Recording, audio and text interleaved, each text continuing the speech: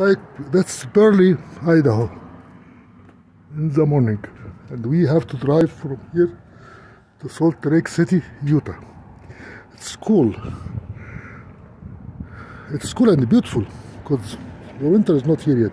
But once we get on these mountains, the snow might cause a problem. Now it's 9 o'clock in the morning. This is Budget Inn Motel, one of my favorite hotels. Simple, cheap. First room they gave me last night has no toilet. has no toilet. She thought I was joking. Told her no, the room is under construction, has no toilet. She put me in another room.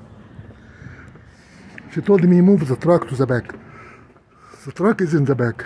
Very beautiful place. In Burley. That's I I-84. Here is cheap, very quiet at night.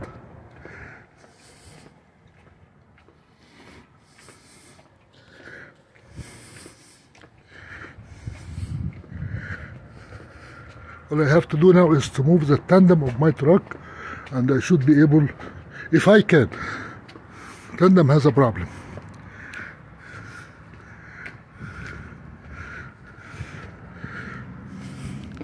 I gave up on it last night. I cannot move the tandem last night. So I said I better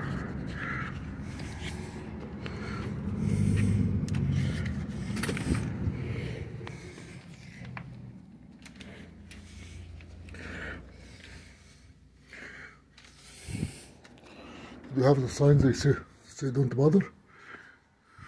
There's no sign here. I'm leaving anyway.